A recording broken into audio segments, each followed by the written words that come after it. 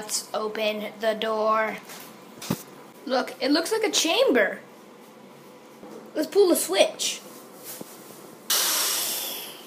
Wow, it opens. What is in this? What is in this box? There is some legs and a head. I think we can use them for a robot. Put all our things in the chamber. Look. Look, they float. Wow. Now we only need a body. Yeah, and an energy core. Oh yeah, here's something outside. Dad, a fire robot!